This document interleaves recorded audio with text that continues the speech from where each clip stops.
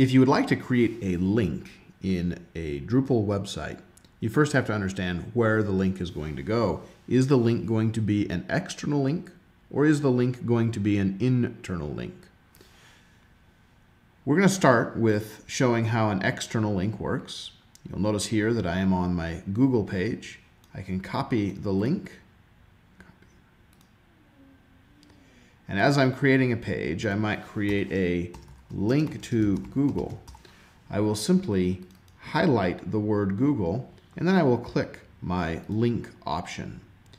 In here I can paste the link from Google and when I hit tab you'll notice that it changes the protocol to match whatever that link was and it will be the link to Google here. I can also set it to open up on a new window if I would like. When I click OK, that now becomes a link for Google. If I right click on that link, I can actually click the edit link option and I can change that link any way that I would like. If I would like to link to an internal page, I create the link the same way by highlighting the words that I would like to link. But the link that I want to choose is a little bit different. If I would like the link to go to this post of follow instructions, I would simply come to my URL line and I would copy everything after the domain name and the domain extension, including the slash. I will copy that and I will then insert this link this way. And when I hit tab, you'll notice that the protocol is other. This system doesn't necessarily know what that is, but the slash needs to be there. We can also change the target if we would like. Usually for internal links, we do not create a new page for that.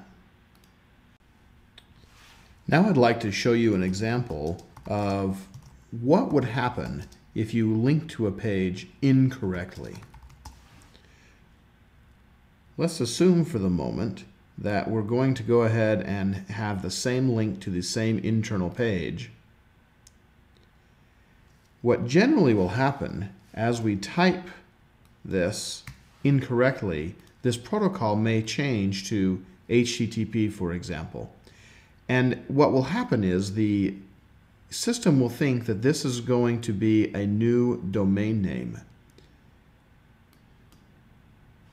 Another consideration of that is it may not understand how to go to the correct page. For example, on this post, because the slash is there, the system knows that it's first going to look at the root of the site. In my case, my site is corysmith.ws. And then it will start by putting in the slash blog slash follow dash instructions dash or dash lose.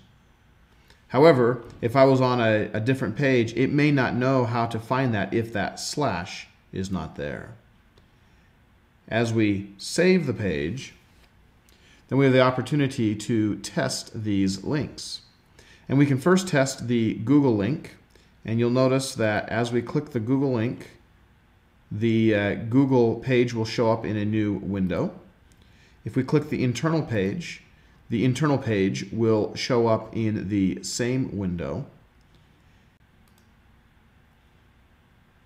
And then if we click on the internal wrong page, it is going to have a problem. It can't find the page.